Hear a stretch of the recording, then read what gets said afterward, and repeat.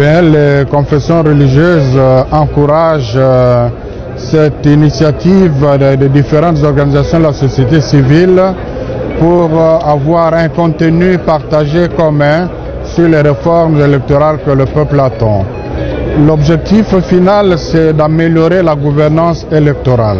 Quand la gouvernance électorale est améliorée, les institutions seront plus légitimes.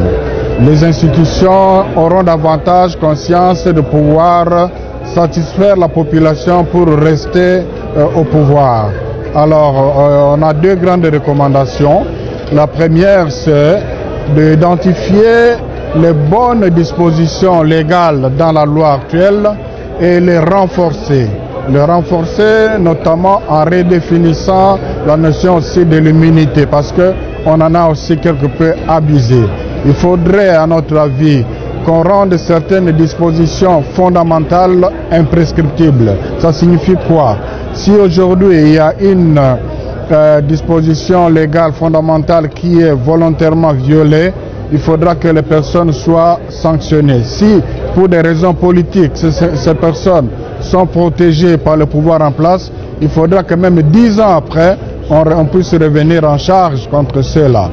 Deuxième recommandation, c'est d'identifier les dispositions qui doivent être changées, qui doivent être améliorées, toujours dans le souci d'améliorer la gouvernance électorale. Et aussi, troisième, j'ajouterai une troisième recommandation par rapport euh, aux acteurs de la société civile, c'est la vigilance. Parce qu'il s'agit de ce que le peuple attend pour améliorer ses conditions de vie, mais il s'agit aussi d'un domaine où les politiques sont très regardants et avec raison parce que leur souci c'est de conserver le pouvoir.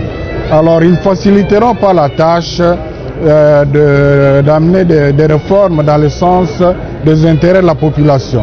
Il revient à la société civile d'accompagner la, la, population dont nous défendons les intérêts à demeurer vigilante pour qu'elle puisse euh, tenir à sa souveraineté. C'est-à-dire quoi? Les réformes doivent être euh, finalisées au niveau des institutions et nous respectons les institutions. Mais si par aventure les institutions prennent des options qui desservent les intérêts de la population, la population doit se défendre légalement et pacifiquement.